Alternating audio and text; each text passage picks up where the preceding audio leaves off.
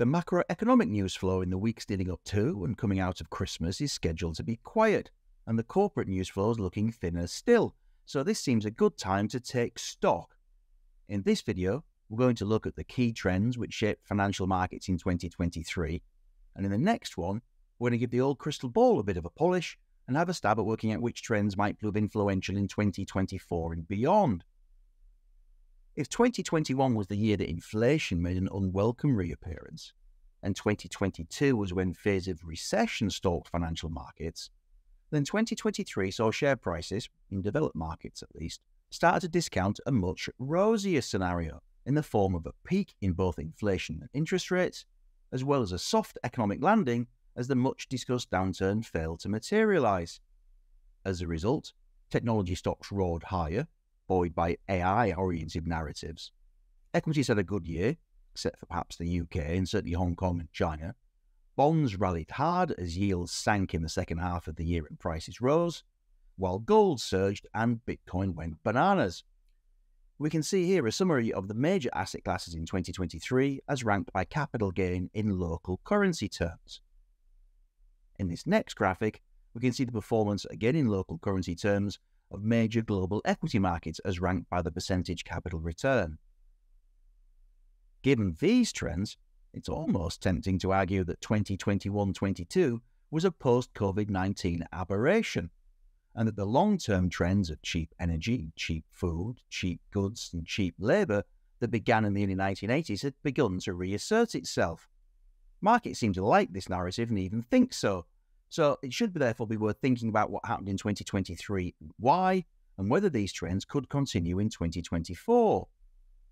The first key trend from 2023 was a fall in oil and gas prices.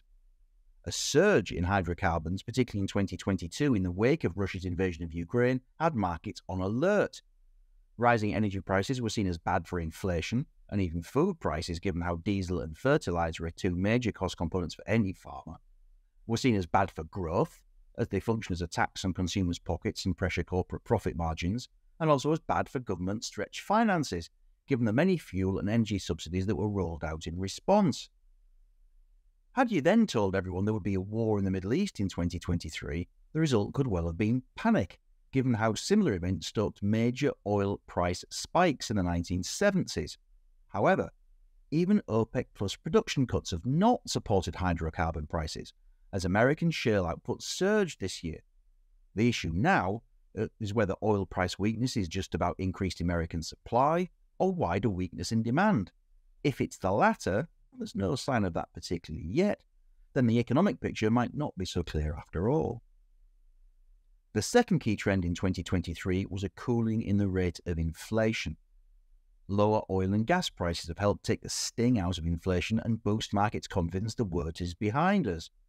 The test now is whether we get a repeat of the 1970s, when inflation struck in three major waves as wage and price spirals set in, and 1973's oil price spike after the Yom Kippur War was followed by another in 1979 when the Shah of Iran fell from power. The third trend was a marked slowdown in the rate at which monetary policy was being tightened and interest rates were going up. Lower energy prices and cooling inflation mean Western central banks appear to be bringing a sharp cycle of interest rate hikes to a halt, while some emerging market uh, monetary authorities are already starting to cut the headline borrowing cost in their nations. This is sparking hopes that the longed for pivot to lower rates and cheaper money is near. In the US, markets are now discounting five one quarter point interest rate cuts in 2024, and in the UK, investors are pricing in four with the result that borrowing costs will be four and a quarter percent by next Christmas on both sides of the Atlantic. The Fed and the Bank of England continue to protest that such talk is premature.